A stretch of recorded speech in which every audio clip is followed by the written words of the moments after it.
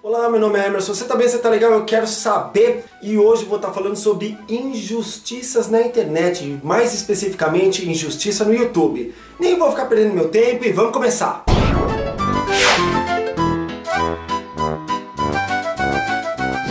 Eu não sei que época que você vai estar tá assistindo esse vídeo, mas esse vídeo foi gravado no comecinho do ano de 2014, mais especificamente no mês de janeiro. Então, dependendo do ano que você está assistindo, esquece tudo, tá? Mas para essa época o assunto é bastante relevante, porque o que o YouTube está fazendo está confundindo todas as pessoas. Ora, eu não vou ficar aqui falando mal do YouTube, porque essa não é a minha intenção, até porque esses vídeos são feitos para o YouTube. Mas existe uma coisa muito estranha que está acontecendo. Eu acho que a gente está perdendo um pouco a mão da roda. O YouTube é uma plataforma que precisa se proteger, porque o YouTube não pode e não quer ser processado por direitos autorais, por estar violando os direitos autorais.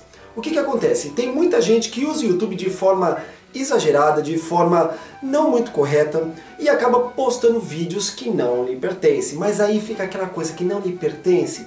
É, se você for parar para pensar da forma mais coerente, correta possível, qualquer imagem, qualquer áudio, qualquer fotografia que não pertence a você, a você que está fazendo aquele conteúdo, tá errado, não é seu mesmo mas existem exceções e é aí que a gente perde um pouco a mão da roda. Eu concordo sim que às vezes a gente não pode estar tá mostrando imagem que não nos pertence, afinal de contas não é nossa, não é nossa.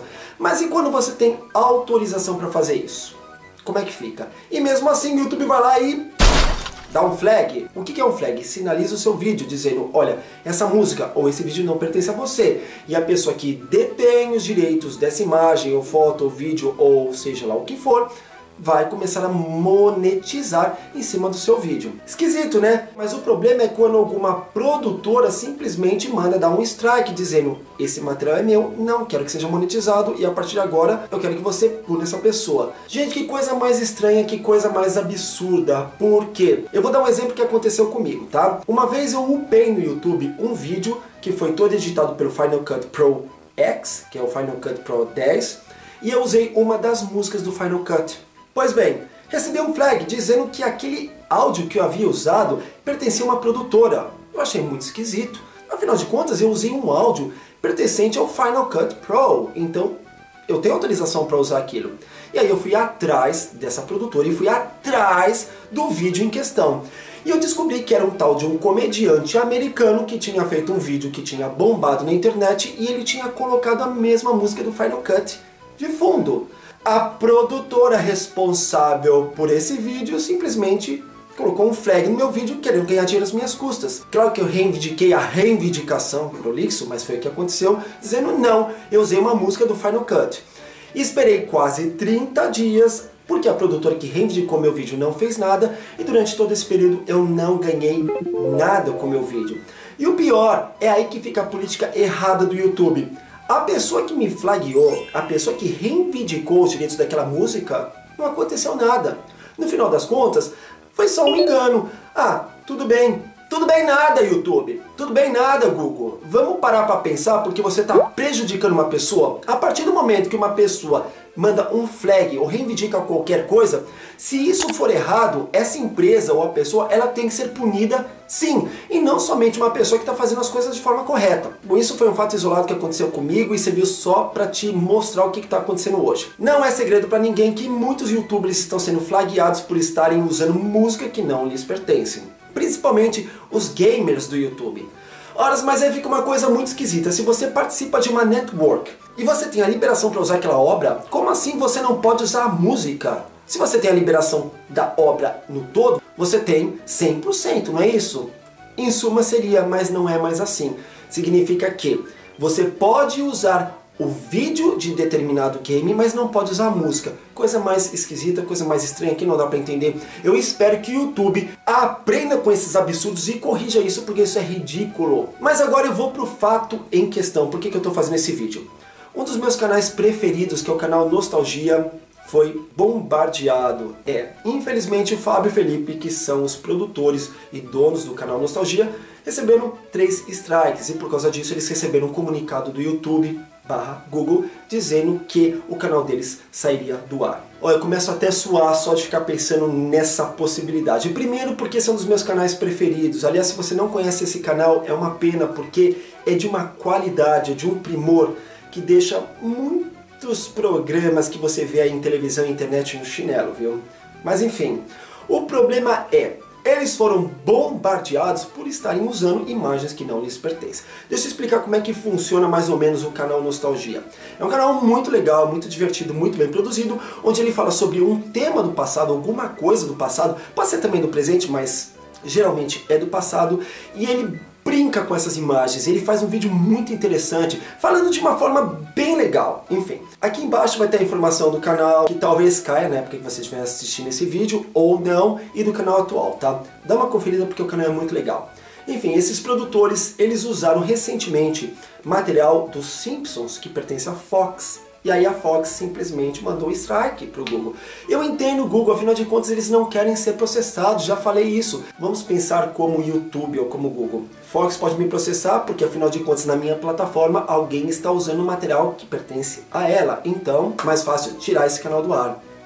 Mas é uma coisa muito estranha. Vamos parar para pensar em trailers de cinema. Se eu quiser comentar sobre um filme e eu quiser usar imagens de trailer, eu não posso porque essa imagem não me pertence.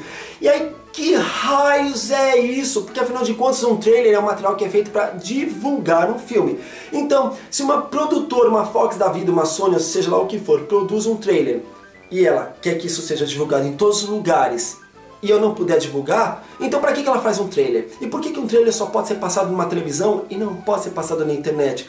Não é uma coisa muito estranha? Não significa que as produtoras estão perdidas e que elas ainda não entenderam como é que funciona esse negócio de internet? Mas enfim, voltando a falar do canal Nostalgia.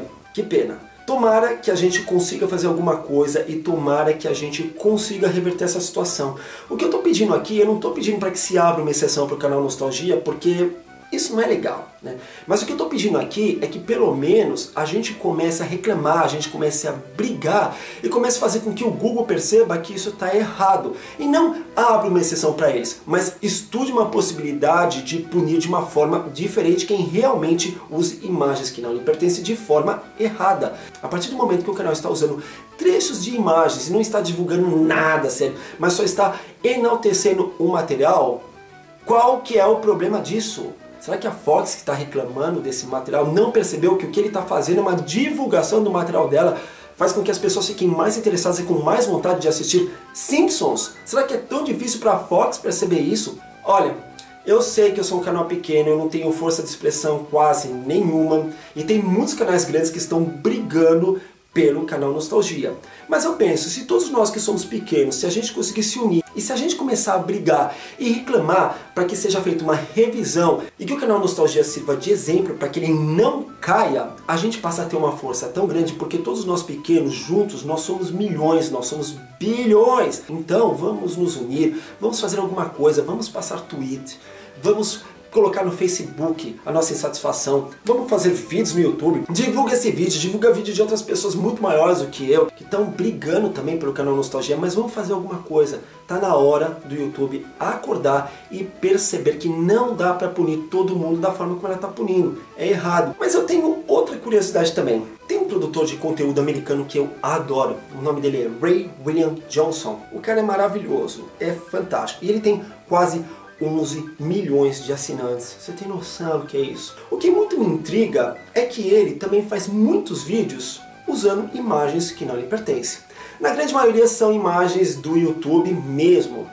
Mas eu fico pensando, se ele está usando imagem que não lhe pertence, por que, que o canal dele continua fazendo tanto sucesso e por que, que o YouTube divulga tanto seu canal? Então não tem alguma coisa estranha aí? Será que a gente não fica naquela teoria dois pesos, duas medidas? Vale para um, mas não vale para outro? Então, se tem que ser punido, tem que punir todo mundo. Mas você acha que o YouTube, você acha que o Google vai punir um canal que tem quase 11 milhões de assinantes? Um canal que traz muita receita? Não vai, né?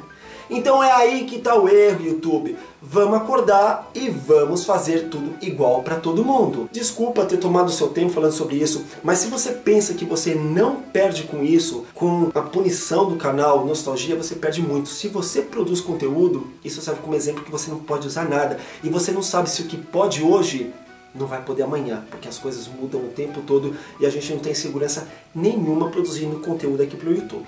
Não é? E se você simplesmente assiste, se você não produz nada, você está perdendo um canal maravilhoso. Então, vamos fazer a nossa parte, vamos pôr a mão na massa e vamos reclamar, porque é para isso que serve uma mídia social. Vamos?